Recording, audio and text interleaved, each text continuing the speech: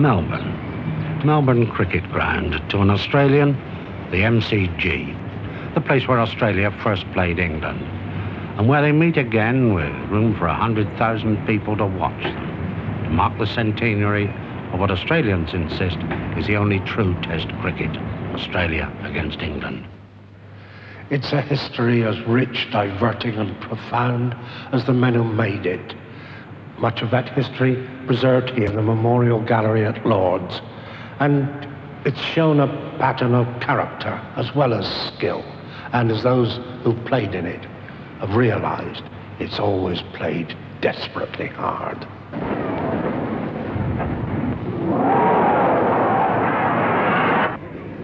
Hollies pitches the ball up slowly and He's bowled. And he's caught by They're appealing to the umpire, and Emrys Davies has given him out. Now he's hit him for six. And I think uh, the storm signals are up. And that's four. And look at Greg now, signaling four for himself. All that is history yet to be made and totally unforeseen when the match subsequently recognised as the first test took place in March 1877. It was a spur of the moment affair. James Lillywhite's England team were the fourth tourists, a party of mercenaries who, like their predecessors, played matches against odds, local 15s, 18s, and even 22s. But some of those Australian sides had won and their pressure for a representative match on level terms was undeniable. So a fixture known as a combined New South Wales and Victoria 11 against All England was hastily arranged for the return of the England team from New Zealand. England were without their regular wicketkeeper, Ted Pooley, who'd been left in prison in New Zealand on charges arising from betting on a match and a scuffle over payment. His deputy, Jupp, had inflammation of the eyes due to various reasons, and the stopgap, Selby, simply was not a wicketkeeper. Australia was short of three of their best bowlers, including Spofforth, known as the demon bowler, who wouldn't play without his own wicketkeeper And the Australian selectors, not for the last time, refused to give in to player power. The match was decided by two men, both Australians. Charles Bannerman took the first ball of the first test match and went on to make 165 before he had to go off with a split finger from one of a sequence of short-pitched balls from Ulyett. So the bouncer began with the first test. England needed only 155 in their second innings to win, but the fast left-arm bowler Tom Kendall, in the finest performance of his life, took 7 for 55 and Australia won by 45 runs. The principle of matches between the two countries had been established. The outstanding cricketer of this era, W.G. Grace, wasn't on that 1876-77 tour, but he had previously taken the team to Australia and he made his mighty mark on the first Test match played in England at the Oval in 1880, when his 152 helped England to a five wickets win. His brothers EM and GF Fred played for England too. And the poignant footnote to this match was that the younger brother, Fred, closest to WG in feeling and reckoned potentially to be a great player, on his way back from the match was put in a wet bed at Basingstoke and died a few days later. And that after making a pair of spectacles in the test match. WG played against the Australian team of 1882 that at the Oval inflicted on England their first home defeat, an incredible shock to all cricketing England. It was the only test of the season. England needed just 85 in their second innings to win, but Spofforth, with his fast off breaks, took 7 for 44 and Australia won by 7 runs. Hungary beating England at soccer was nothing compared with the shock this gave. It seemed incredible. As a result, the Sporting Times printed the now well-worn obituary of English cricket with the footnote that the body will be cremated and the ashes taken to Australia. So, when an English team led by the Honourable Ivo Bligh followed hard on the heels of the returning Australians, it was popularly said in England that he was going to recover the ashes. Australia won the first of the three planned matches, But then England took the next two, and two Australian ladies burnt a bale, put the ashes of it in this urn, and presented it to the Honourable Ivo Bligh. Thereupon, the Australians demanded, got, and won a fourth test match. But Bligh kept his urn and married one of the ladies who created it. And now, irrespective of who metaphorically holds the ashes, this urn remains always here at Lord's. The period to 1900, in fact, is very well epitomised by the medallions and the painting of a fictitious England-Australia match by Barrable and Ponsonby Staples. The medallions show a ranking of the great players, English and Australian, who sustained the procession up to the end of the century.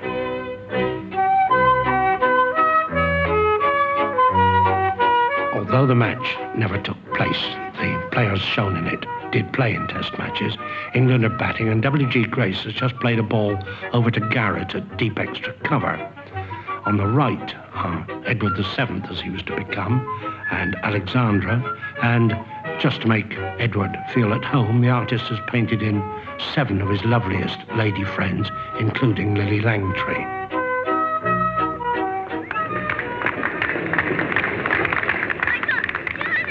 So the long story of mythology ran on.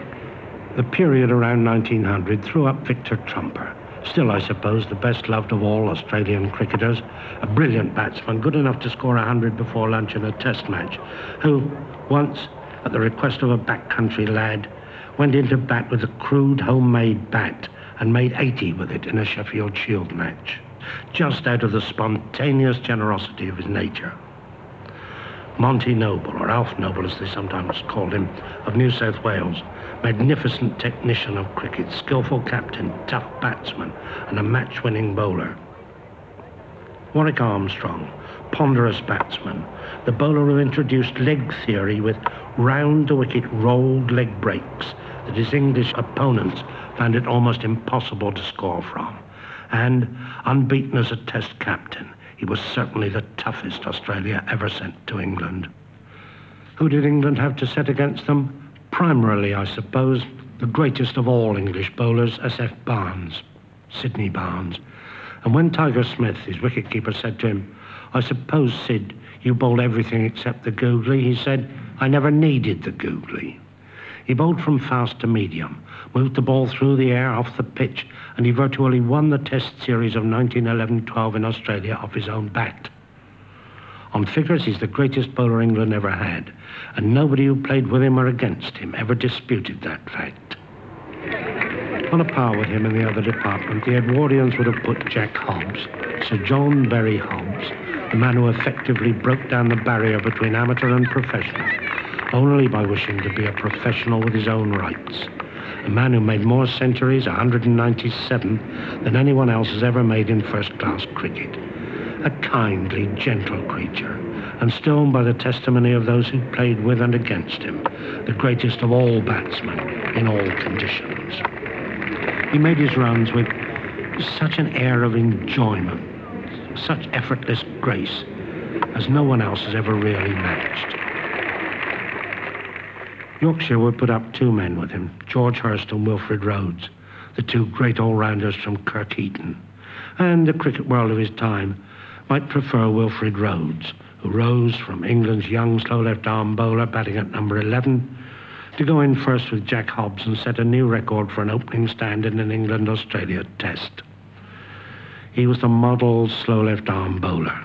Spin, flight, length, control, strategy, and he made himself into a highly successful test batsman. The crown of his career was when, at the age of 48, he came back to play a major part in winning that final test of 1926.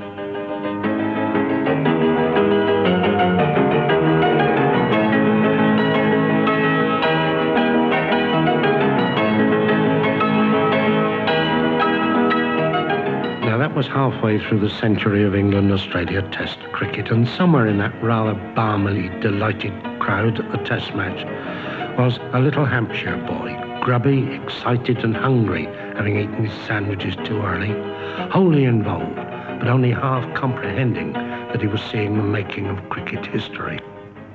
He's grown up now, old enough to remember the tests of the remaining half century and to feel over again the emotions that many of these matches aroused. Now, that side with the heroes of a generation went on to win in Australia in 1928-9. But in 1930, Don Bradman effectively won the series in England for Australia. When Douglas Jardine took his side out there in 1932-3, he'd worked out a strategy which he believed would defeat Australia. He'd come to the conclusion that Don Bradman was vulnerable to short-pitched fast bowling on the line of his body. He took out a side that was able to deliver it. They did deliver it.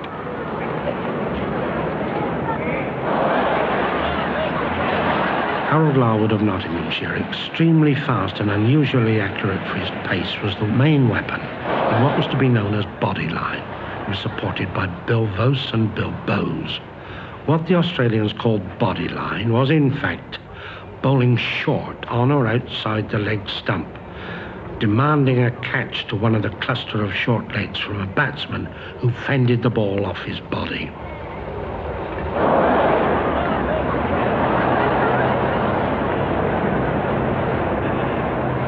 In the first test, Bradman was unfit, and only Stan McCabe, with a characteristically brilliant 187, effectively resisted the England pace.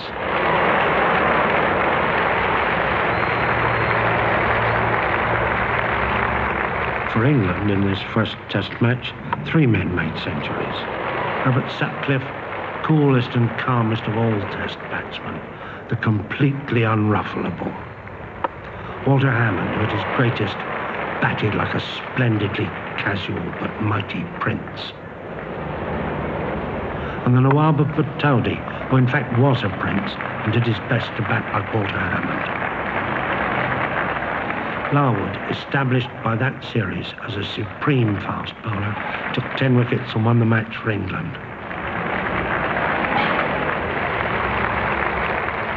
So to Melbourne in the second test. Bradman fit and before a vast crowd out first ball to Bill Bowes.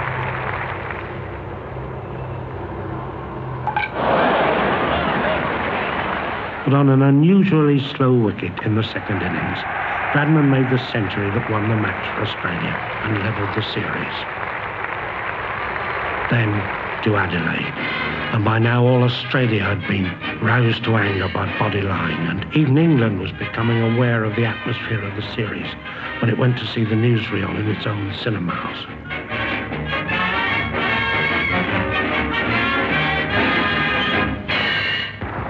Was a tightly packed round that saw England take the field for Australia's first innings at Adelaide after having put 341 runs on the board themselves.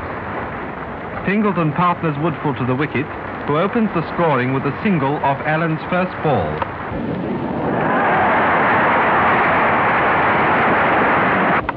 There is an early shock for Australia when Fingleton is caught off the second ball of the match.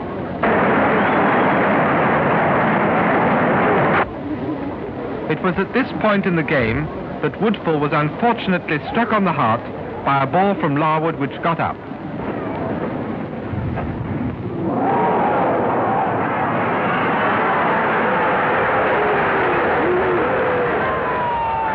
No one in England, though, realised quite the intensity of the passion and the anger in Australia. The Australians didn't like body line at all. I know that it affected the players very much indeed. They're in a state of physical and mental exhaustion because it was uh, no nice thing to have a ball whistling past your ears and past your temples because we knew that if we had been hit by one of those balls, we'll either end up in the slab and the mortuary or an imbecile for the rest of our lives. Larwood is faster today than ever, and this slow motion study reveals his action very clearly and bowls to a leg trap to which Bradman falls a victim when he has only scored eight. None of the Australians seem able to deal with the leg theory bowling, with the exception of Ponsford, who is pulling the game round for his side.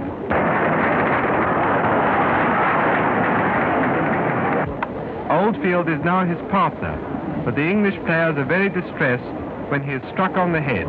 Larwood again being the unlucky bowler.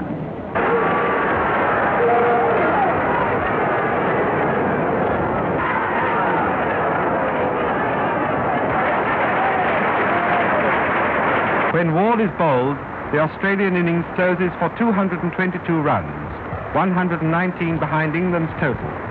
And England eventually win one of the most sensational cricket matches ever played by 338 runs. The anger was reflected in newspaper headlines, in books that were rushed off the presses there, and in the cables that passed between the two countries and were referred to cabinet level. Bodyline bowling assumed such proportions as to menace best interests of game, making protection of body by batsmen the main consideration, causing intensely bitter feeling between players as well as injury. In our opinion, is unsportsmanlike, unless stopped at once, likely to upset friendly relations between Australia and England. We, the Marylebone Cricket Club, deplore your cable. We deprecate your opinion that there has been unsportsmanlike play. Much as we regret accidents to Woodfull and Oldfield, we understand that in neither case was the bowler to blame. We hope that the situation is not now as serious as your cable would seem to indicate, but if it is such as to jeopardize the good relations between English and Australian cricketers, and you consider it desirable to cancel remainder of program, we would consent, but with great reluctance. Relations between the cricket authorities of the two countries were stretched almost to snapping point before peace was restored and the Australians came to England in 1934. Jardine, tactfully and with a sardonic grin, had retired. Larwood was the sacrificial lamb to appeasement. He bit his tongue on his resentment, kept silence, and 17 years afterwards emigrated with his family to Australia. The first test, the Trent Bridge test of 1938, was one of the glorious and historic draws of all test cricket. There'd be no record of it at all, but that a Nottingham amateur cameraman went up there and filmed it. Perhaps not in the sophisticated manner of the present day, but nevertheless he filmed a quite splendid cricket match, in which Don Bradman brought his team into the field after England had won the toss, and everybody there watched a series of great innings.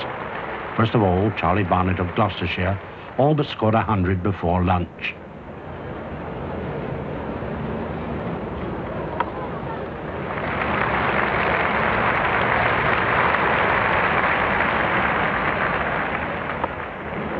In fact, The junior partner, decided he might get out, taking a risk to complete the century, and ensured that he didn't get the bowling, but had to wait until after lunch before he hit the four that took him into three figures.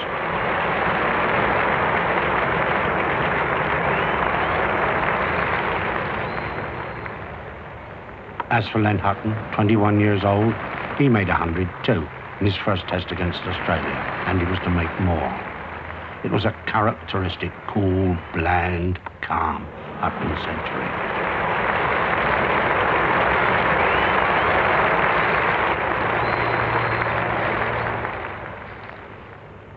Dennis Compton, a year younger at 20, scored a century as well in two and a quarter hours.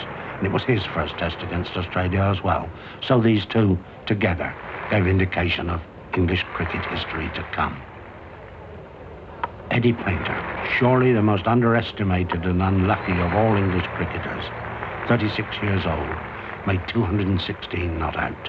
And England declared at 658 for eight at a quarter past three on the second day. Not a bad scoring rate.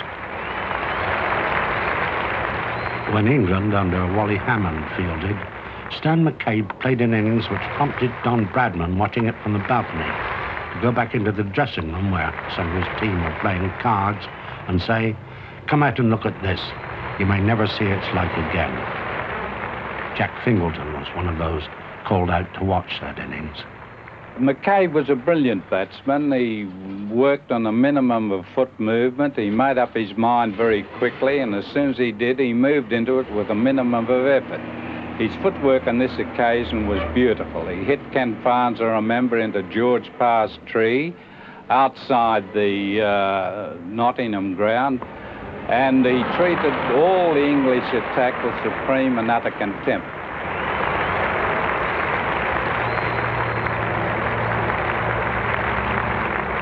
Stan McCabe's 232 took Australia to 411, but it wasn't enough to avoid the follow-on. Still, Brown and Bradman saw Australia safely to a draw on that wonderful batsman's wicket. This, as it were, brings Bradman's technique into close-up. Speed of reaction, the certainty of stroke, that cool, complete mastery.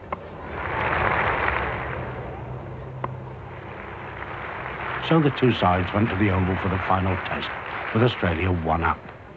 England hadn't won a test series against Australia since 1932-33. The young Len Hutton, now 22, in an innings of quite monumental concentration, went steadily on his way to break Bradman's test record. He made 364 before he was out.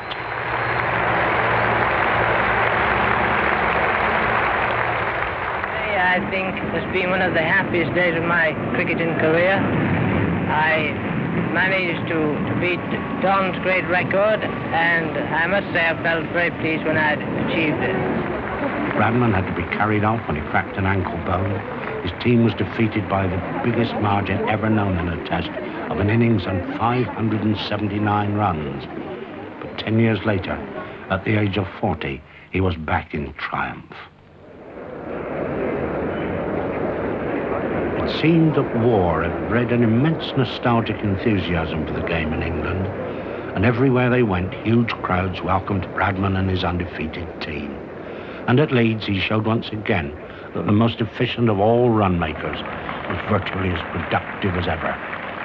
He led Australia in scoring 404 runs in less than a day to win. If it wasn't quite the Bradman of the 30s, it was still magnificent and built up the enthusiasm for the Oval, one of the great nostalgic moments of modern cricket.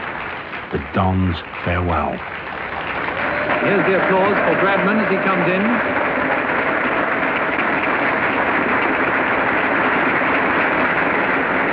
Well, it's a wonderful reception. The whole crowd is standing, and the England team are joining in, and led by Yardley, three cheers for the Don as he gets to the wicket. And now here's Hollies to bowl to him from the Vauxhall end. No run. Hollies pitches the ball up slowly, and he's bowled. Bowled that bowler's lifelong delight by Eric Hollies' little googly. Was Bradman's eagle eye dimmed by a tear after that moving reception? Jack Fingleton, who was sitting in the commentary box, said that if it was, it was for the first time. He'd failed actually by 0.06, or just four more runs, to average 100 runs per test innings. England had to wait until 1953, 20 years altogether, before they won the Ashes, and nothing can have been more appropriate than that two of their three historic batting figures of the age, Dennis Compton and Bill Edrich, were together when the winning hit was made.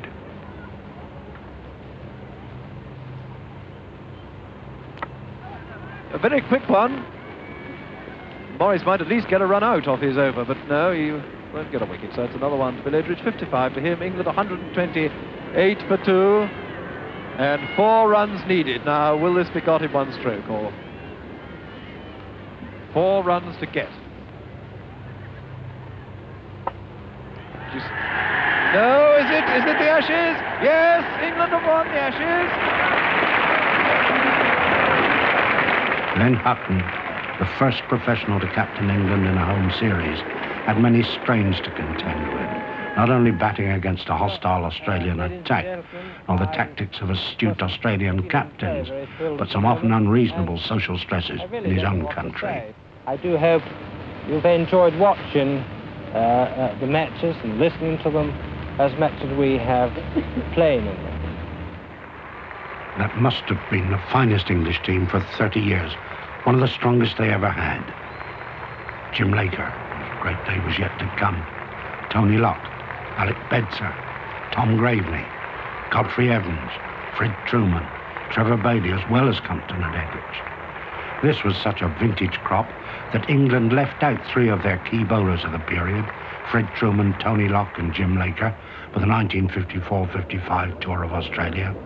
And still they won the series, due mainly to Frank Tyson, who, rising to the absolute peak of his career, effectively won the series.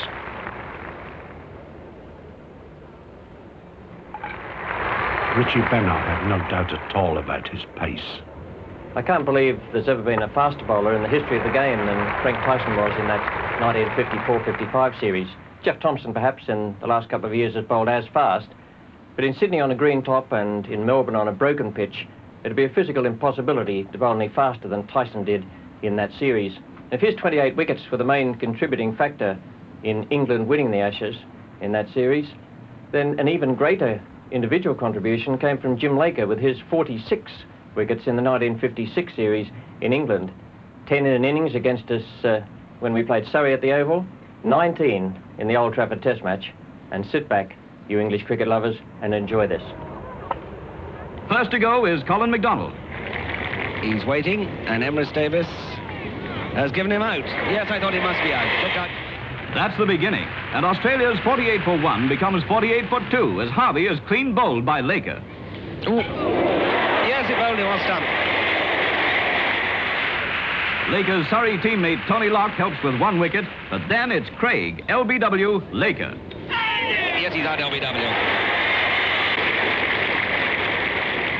And without adding a run, Mackay is out. Caught Oakman, bowled Laker. and he's caught by Oakman. They're appealing to the umpire, and Emrys Davies has given him out. Australia 62 for 5, and there's no stopping Laker. Keith Miller goes next, caught Oakman, bowled Laker. Sheppard caught him. 73 for 6 becomes 73 for 7 as the Australians collapse. Richie Benaud has a go, but he too becomes a victim of Laker. And he's going to be caught by Statham.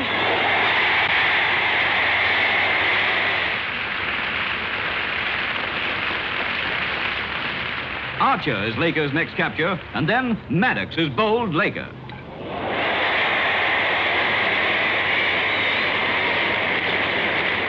Eighty-four for nine, with Laker bowling himself into cricket history. And he makes sure of it by bowling Ian Johnson, and so takes nine wickets for 37 runs, something no Englishman has ever done before against Australia. And as Australia follow on, Laker is at it again. Once more, it's Harvey, bowled Laker.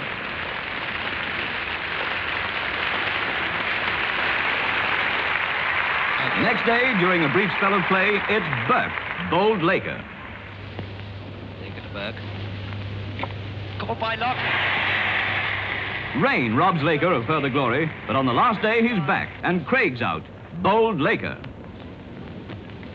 Yes, I should think so. Yes.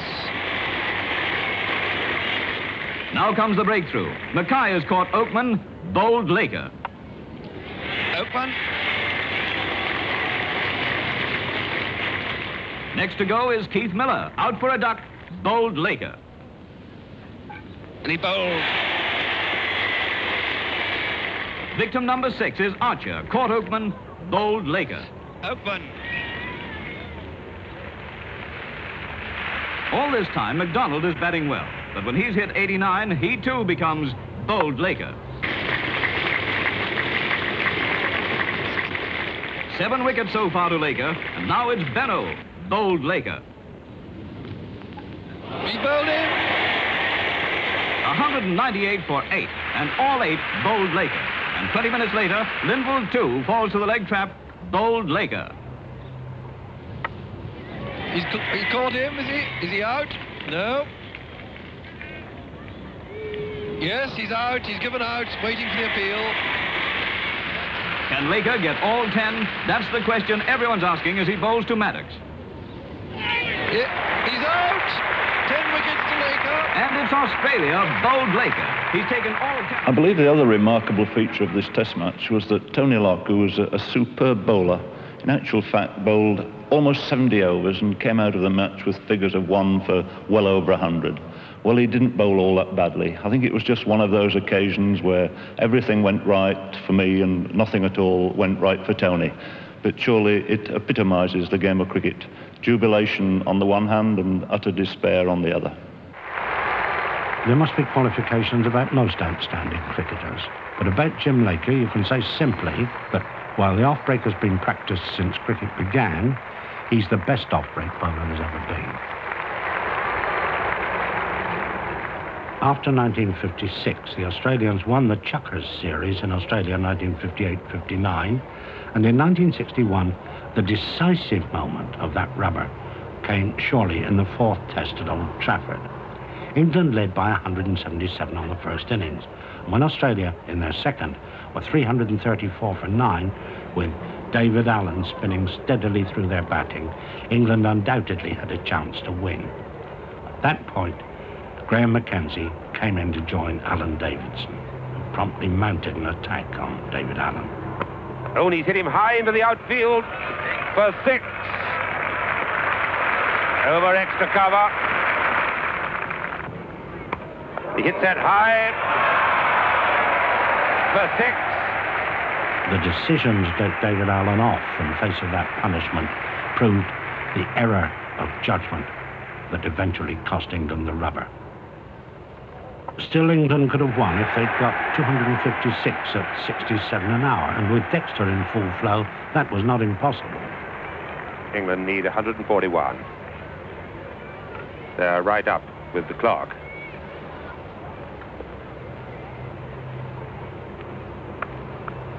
That's gone through, and there's his 50.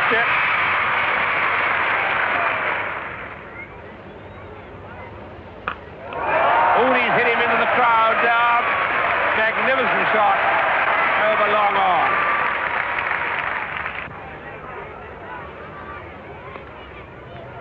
You can very rarely put a finger on two or three minutes of a test match that completely resolve it. But you can of this game at the point where Dexter and Subba Row had reached 150 for the second wicket, and Richie Benaud decided to bowl round the wicket into the bowler's rough. These days, uh, there's no rough for the bowlers to bowl into, but uh, at Old Trafford that day, the holes were wide and deep. I decided to bowl round the wicket to the right-handers, providing they were attacking. Wasn't much point in doing it otherwise, because they could have played the ball away with their pads. He's got behind the wicket. Dexter caught behind by Grout off Benaud for 76. Benaud bowling round the wicket may possibly be a little bit difficult to get away. Uh, he's bowled May behind his legs, has he? Yes, he's out.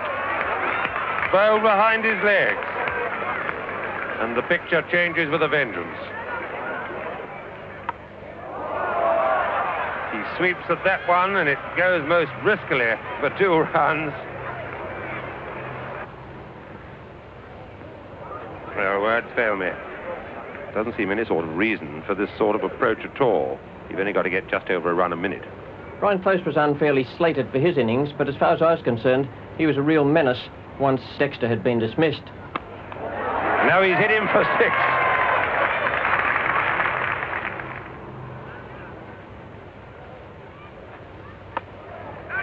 And he's caught behind square leg. It's almost inevitable. Oh, magnificent catch by Simpson. What a fine catch. So that's Allen out, caught Simpson Bell Benaud for 10. England still 55 runs behind. Statham, the batsman, not out eight, facing Davidson. Team bowled. Australia have won, and they've kept the Ashes. This, in many ways, was the greatest achievement of Richie Benaud's career. It was a triumph not only of technique and of spin bowling, but also of character. Australia were threatened with defeat, and Benaud went on himself to change the course of the game and win it, and he did it. Old Trafford has the reputation for rain, but in 1968, rain at the Oval precipitated as remarkable a sequence of events as it ever done in all Test cricket. A storm at lunch with Australia 85 for 5 seemed to have put an end to any chance of play. Then, so far as anyone knows, without parallel in the history of Test cricket, volunteers, scores of them, came out of the crowd and mopped the pitch up to make it fit for play. The Australians, I suppose, might have queried whether this was even legal, but they didn't. Then they had to hold out for 75 minutes to avoid defeat. And Jarman and Inverarity had lasted 40 minutes of that time and five bowlers as well, when D'Oliveira was brought on as the sixth to bowl to Jarman.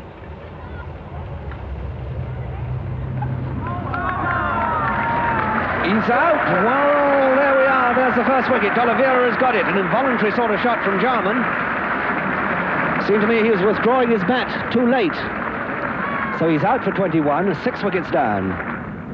Now Underwood at this end to bowl to Mallett, who batted for three hours in the first Australian innings. He's out, caught, caught by Brown. So Mallett is out, second ball, three to get. Well, there was once a test match at the Oval when somebody bit through the handle of his umbrella, and this is the kind of cricket now. And the wicket looks as if it's beginning to bite and not taking that in the chest. Cowdrey must be pleased at the grip that Underwood got there. Ten men round the bat. Doesn't matter about the fours or sixes, runs don't matter at all. Ooh, he's out, is he caught? Look at Brown, look at Dave Brown, he's gone, and that was a better catch. Oh, what a day is Dave Brown having. And Underwood too. So this is Gleeson's first ball now. And different tactics, and that's going to be four runs up to the corner there by the gas holder. See the tenseness in the faces there. Even little Alan Knott, normally always laughing. Very grim. Coming in round the wicket this time, Underwood. And he got him, bowled him, off stump, knocked out of the ground. And Australia are 120 for nine with just one wicket to go and 10 minutes and a half left. Inverarity has been there for four hours, 10 minutes, a superb innings for his country. Appeal! He's out, WW! England have won, and the series is drawn. There's Colin Cowdrey, the happiest man on the field. So, thanks to Derek Underwood, England drew the series. But one other individual performance in that match was to have even wider repercussions, quite outside the normal realm of cricket scores and test series. Basil D'Oliveira, Cape-coloured from South Africa, was not entitled to play test cricket in the country of his birth. He'd come to England, become a British citizen, and been capped for England. In the first innings, he made 150, and then, as you've seen, bowled the ball that made the breakthrough that enabled England to draw the series. Nevertheless, he was left out of MCC's team to go to South Africa that winter, but was brought into it when an original selection, Tom Cartwright, proved unfit to go. As a result, the South African government forbade the tour, and no cricket has been played between England and South Africa, nor will be until South Africa's cricket is played on a non-racial basis. D'Oliveira, though, was one of the 1970-71 team that Ray Illingworth, another professional captain, took to Australia. After three draws, England won at Sydney, due almost entirely to the individual performances of two of the most controversial figures of English cricket of the last 15 years, Geoffrey Boycott and John Snow. In the fourth test, the Yorkshireman Geoffrey Boycott made 77 not out in the first innings and 142 not out in the second. This was the batsman of ultimates, even by Yorkshire standards, a player of immense concentration, attempting constantly to make his batting impregnable. He didn't quite succeed, but he came nearer to it than most. And the bowler in the second innings, John Snow of Sussex, a turbulent character with a genuine streak of hostility and immense ability as a fast bowler, took 7 for 40, which gave the match finally to England. There were two more draws afterwards, and then the sides went on to a quite unique seventh test at Sydney, where England had their problems. Boycott couldn't play through injury, and very early on in the match they were in trouble. Snow was bowling to Terry Jenner.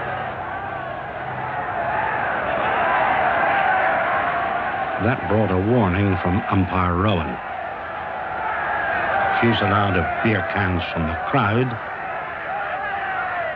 And with John Snow harried by spectators, Ray Illingworth took England off the field, only to bring them back when he was told that if they stayed off, the match would be awarded to Australia.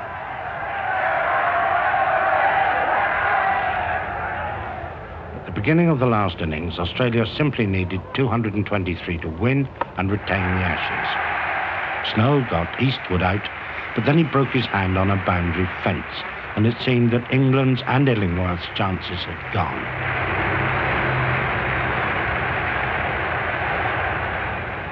and it's Lever bowling to Ian Chappell. There's an appeal for caught behind and he's out. Chappell is out. Caught Knott bowled Lever for six. Australia two for 22. The problem that England now faces is quite simple. Can their bowlers swing this game without the help of John Snow? There it goes. That's the shot way out and long on back, maybe six. It's a tremendous hit. Six runs.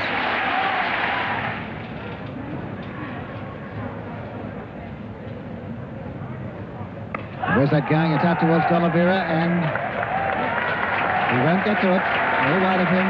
Four runs to Stackpole. Is he caught? Yes, he's out. Red Redpath caught Hampshire, bowled Illingworth for 14. Now for Walters, three slips in the gully.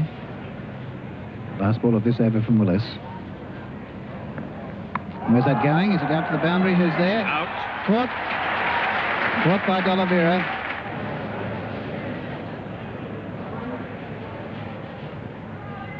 Oh, that's four runs. What a beautifully timed shot from Stackpole.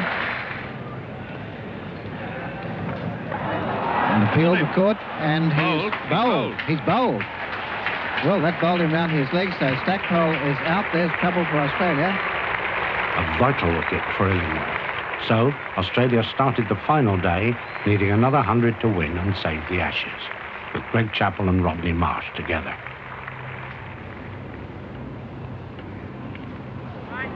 It's this sweep shot that he likes to play so much. Stackpole was out yesterday playing the sweep shot when he was bowled by Illingworth, hit his leg stump.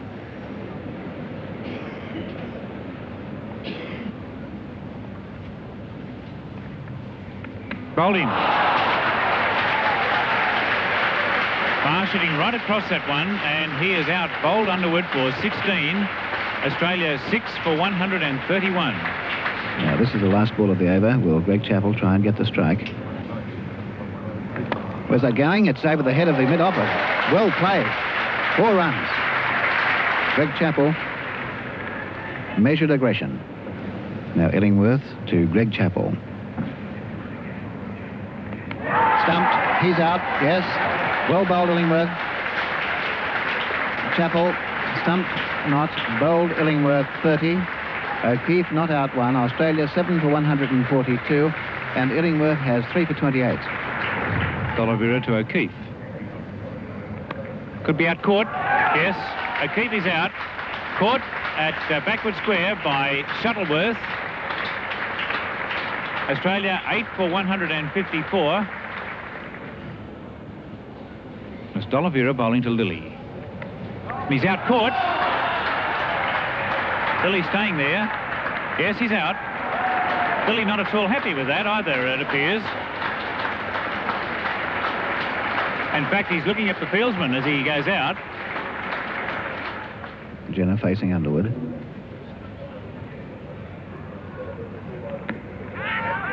And that's it? Yes, he's out. That's the end of the match. Raymond Illingworth was the first English captain to regain the Ashes in Australia since the Bodyline Tour of 1932-33. And bodyline in most countries seems to be used as a term of abuse when it's directed against them.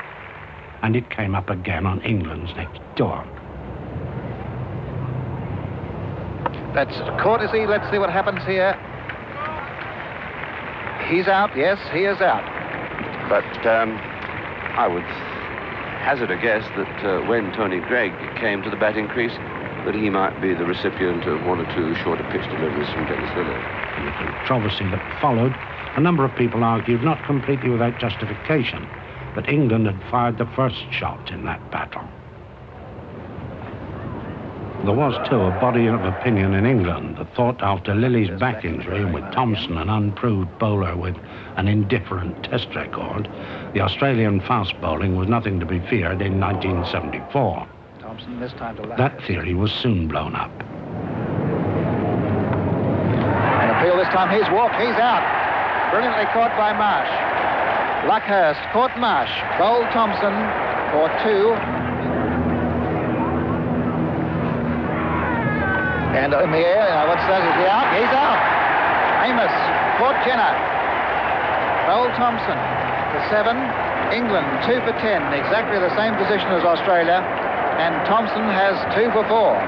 Walker bowling to Denness. And that's four. Square cut for four.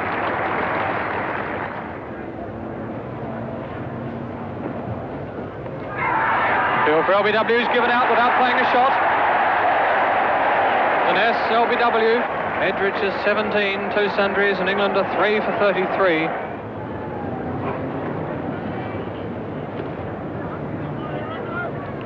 And they'll play it on, he's bowled. Fletcher bowled by Lillee for 17. And I think uh, the storm signals are up. I think uh, has intimated to Greig what his intentions are.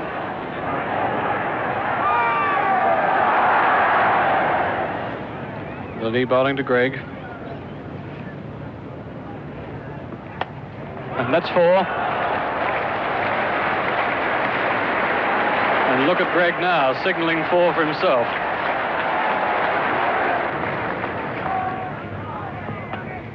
And that could be his 100. It's wide of Walters. Walters coming round very quickly, and he can't get to it. There's his 100. Greig's century couldn't mask the English batsman's deficiencies against real pace. The conclusive evidence of that came in the second innings of that match. And caught by Ian Chappell at first slip. Thomson to Edrich. And bowled him. Thomson to Amiss.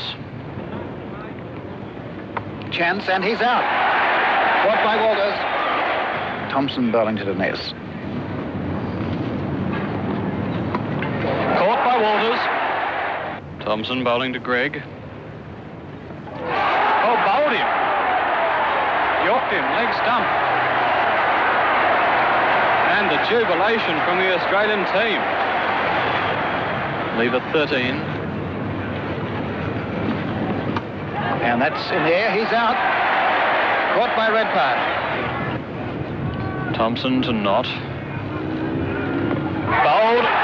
So Thomson and Lillee established a pattern of domination that lasted through that series in Australia and another in England, while Lillee's recent performances against Pakistan argue that he at least is still a considerable threat. The injury to Thomson's shoulder, well, as the Australians used to say, that leaves the situation open for another Australian fast bowler. So the camera has strained its memory as far back as it will go, and then come up to today, to record a century of that particular kind of cricket which has roused a vast number of people to suspense, delight, excitement, pleasure, even anger, has roused in some emotions so intense as to make one wonder whether this form of cricket is really a game. Thank goodness it is. Yes, he's out LBW.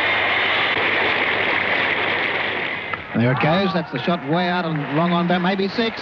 It's a tremendous hit. Six runs. And he got him, bowled him, off stump, knocked out of the ground. Oh, bowled him. Yorked him, leg stump. Is it the Ashes? Yes, England have won the Ashes.